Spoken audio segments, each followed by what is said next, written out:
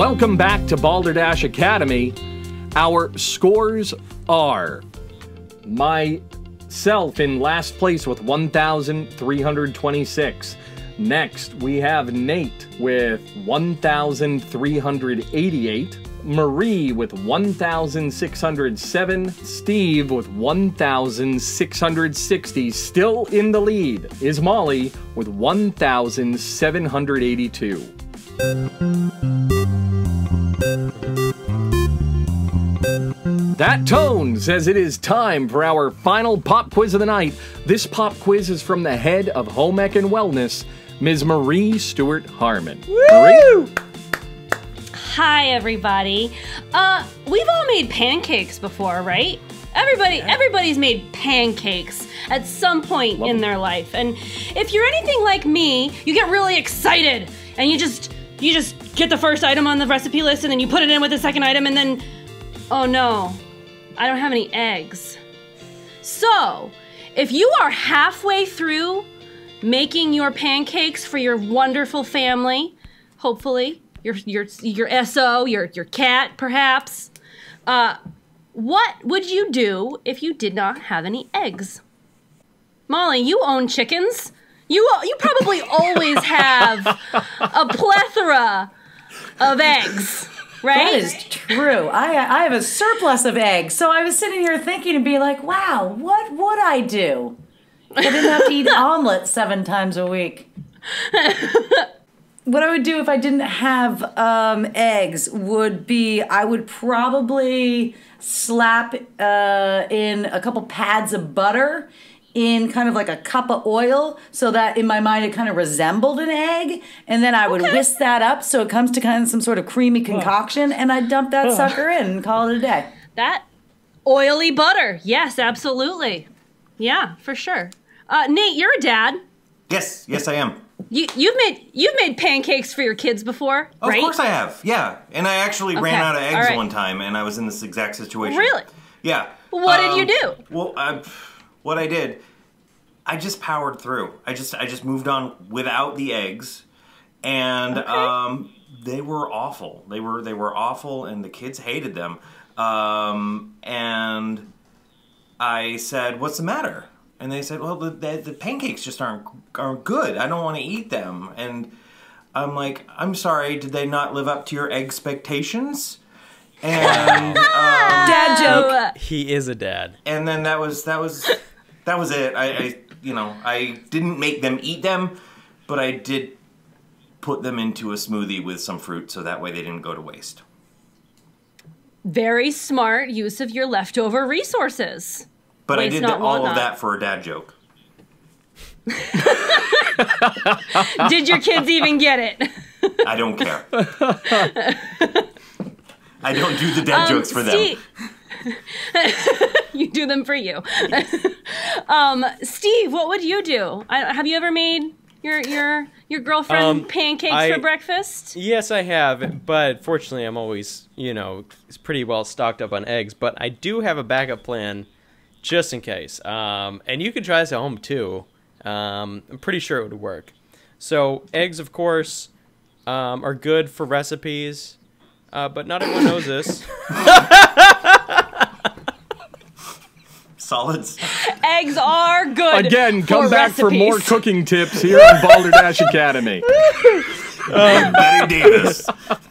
But um, not what not everyone knows is that um, you can use the egg later in its life uh, in place of an egg. So uh, if you have chicken breasts in your freezer, um, or chicken Just, it's a matured egg. legs, or uh, any chicken product, chicken broth, Any chicken. Okay. um, chicken wings, chicken wings. Okay, so you just grab a bunch of chicken wings out of the freezer, and you uh, supplement that in. So one egg would be three chicken wings, obviously. Supplement that in.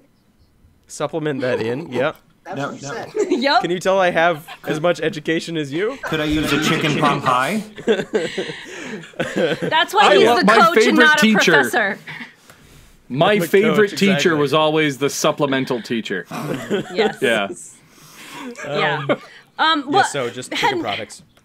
Okay. Yeah, that that seems to line up. An egg, you know, with chicken. What came first? Bob, what about you, headmaster? What would you do? Well, I- I have an advantage in answering this question because my son is allergic to eggs. So we can't use eggs anywhere. So whenever we make anything, and not just pancakes, we have to use an egg substitute. And there are many different techniques that you can use to replace eggs. Like Steve said, if you don't have liquid chickens, you can always liquefy a chicken and use that in its place. I mean, that was brilliant. Uh, there's always the technique of over whipping the batter a little bit to form some gluten and then adding in a carbonated beverage to help use that extra lift to use that as a leavening agent. What I prefer to do is take a different approach and just lie. Just tell them there are eggs in it. Convince the flour to rise without the egg. And you know what? If you are good at motivation and motivational speaking, you can do it. Because I believe that you can. I believe that you can rise up as that pancake and be all that you need to be. Thank you for coming to my Anything is TED Talk. possible. That's right, Hal. Um, Hal, we've heard some really clever, really clever answers here this evening. Uh, how would you how would you score these answers? Impressively, impressively. Yes. yes. Everyone gets points. For the use of the word leavening, Bob gets 500 points. Wow, that's huge points. Man, that's huge. Yeah. Marie, because this, these were very uh, well articulated questions, you get Thank you. 103 points. Thank you. Nate, you get four points in 122 bundles. Oh man. 120. Holy moly! Oh man. This That's is my big. favorite number of bundles. Sure. Thank you. Thank you. Steve, you supplemented yourself to 11 points. That's, that's adequate. Yeah. Yeah, I think so. Mm-hmm. and, and and Molly, you you really enjoy your chickens. You own chickens. That's probably 64 points. Oh. All No, no, no. It's Oh. 62 points now. Oh. 62 points. The, these have all been very, very good and helpful answers, and perhaps I might take some of them to the test. You know, I think convincing the other ingredients that they are also surrounded by eggs. Po- the hmm. power of, of wishful thinking, you know. However, there are two very, very simple things that m- many people have in their cupboard. Um, if you don't have any eggs, you can replace one egg with one fourth of a cup of applesauce. Who knew? The Oh, wow. other thing you could try, which creates very light and fluffy pancakes mayonnaise. Three tablespoons of mayonnaise for one egg, because mayo is basically just whipped egg. Whipped egg. Whipped egg. So now, when you're trying to make pancakes, you can replace, you can supplement your eggs with applesauce or good old mayo. Mm. So, pro tip do not use any egg substitutes when you're making an omelet. No. Applesauce? Yes, that- Mayonnaise omelet is not what's for breakfast. Just fry up some applesauce and mayonnaise.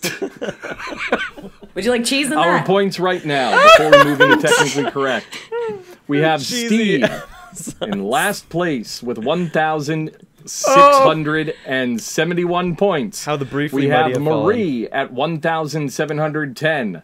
We have myself at 1,826. We have Molly with 1,844. And we have Nate with 1,876. And our next Ooh. game is called Technically Correct. Oh, great. Oh, here we go, boys and girls. I will read a description Everyone's of a movie game. that is technically correct. Our faculty members will all come up with an answer as fast as possible and present it one by one. Hal will award points based on the answers he likes best. the description of our first film. Video enthusiasts play tag. Nate, what's your answer? Tron. Tron. Uh, uh. Marie, what do you have? Uh, Tomb Raider.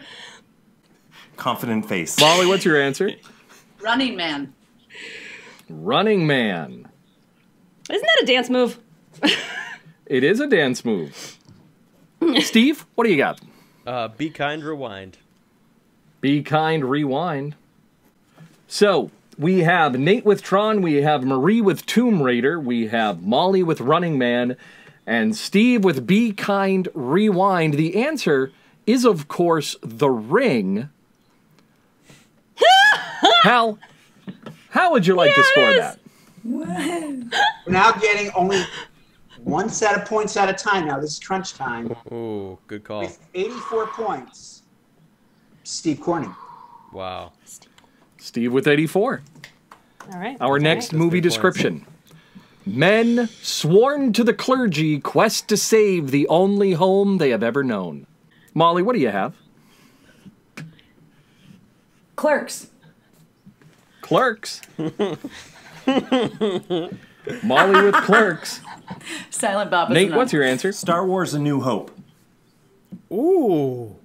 Woo. Star Wars: A New Hope. Good answer. With, Steve, with what Betty do you Davis. got? Ah, God With damn it. I was gonna I was gonna say Star Wars Episode Three: Revenge of the Sith. All right. ROTS. Murray, what's your answer? I am going with the fail proof, the Hunchback of Notre Dame. Yet again. Uh, All right. There's clergy in there.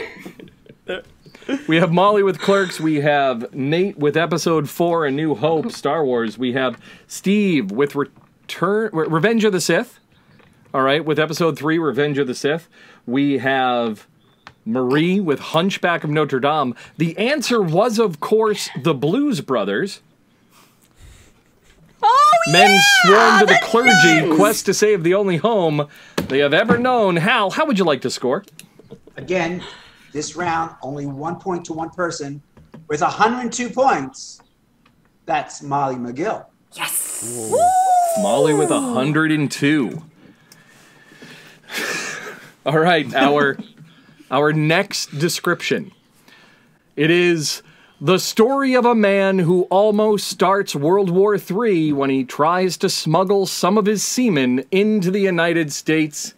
You know, let's start with Steve. Steve, what do you have? Uh, Hunt for the Red October. There's a lot of semen in that one. All right, Nate, what's your answer? JFK. JFK. Marie?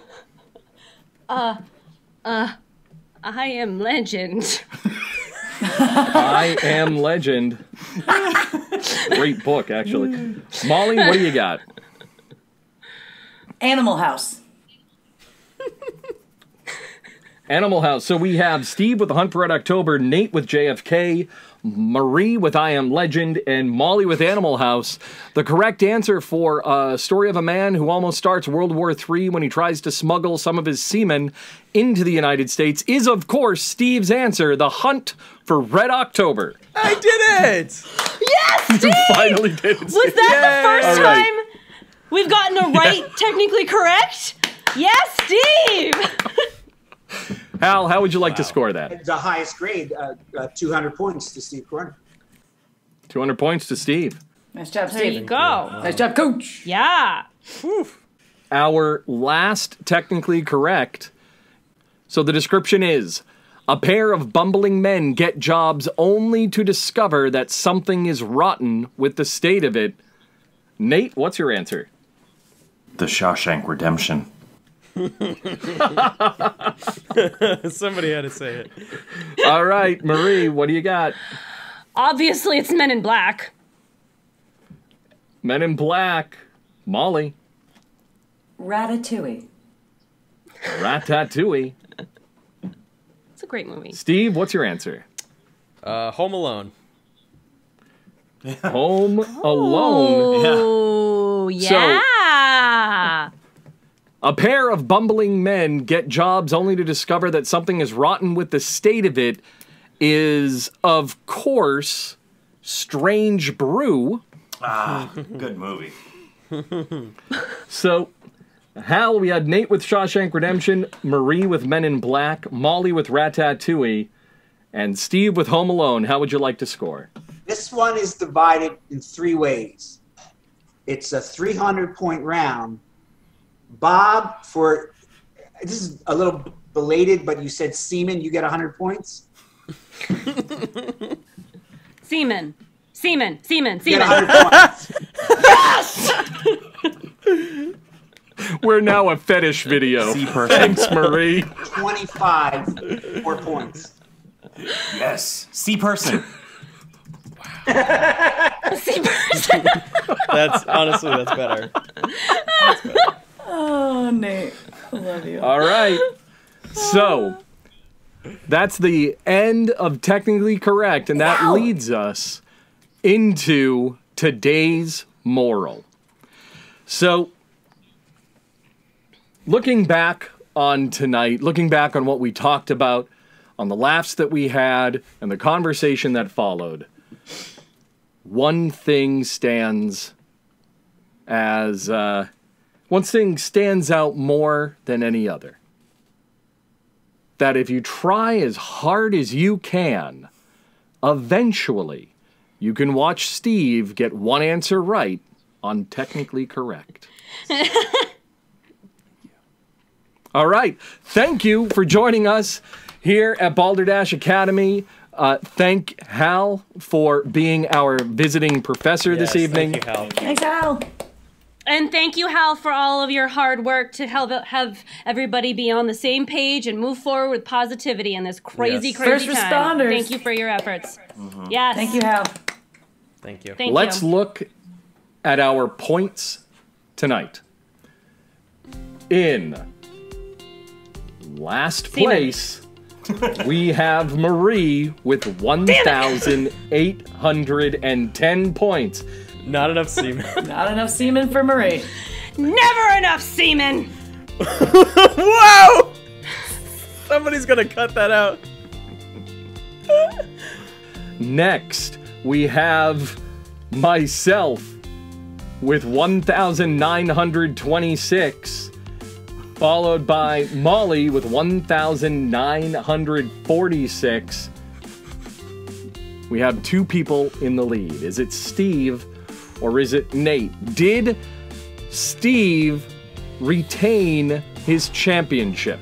Four. Well, the answer is no. Steve has 1,955. Nate is once again Whoa! reigning champion. He's back. With 1,976 points. Cry it out loud. Oh, very competitive. It's a great game. Yeah. Thank you for watching tonight. I am your host, Bob LeBlanc. Joining me, as always, is the head of English Language Arts, Molly McGill. I'm crushed. I am crushed, but I'm coming back next week harder than ever.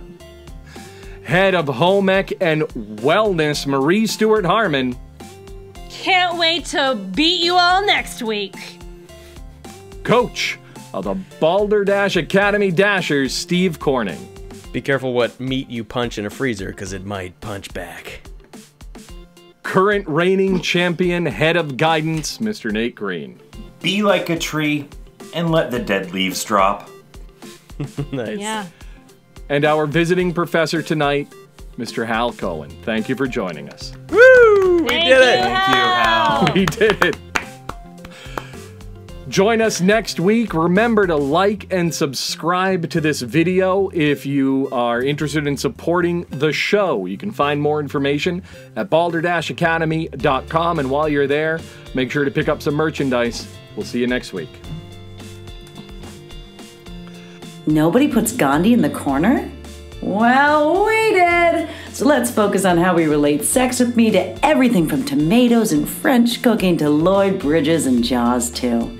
You don't want to miss it, all on the next episode of Balderdash Academy. Thank you for watching. Remember to like, subscribe, and hit that bell icon. You can find us on your favorite podcast service as Balderdash Academy.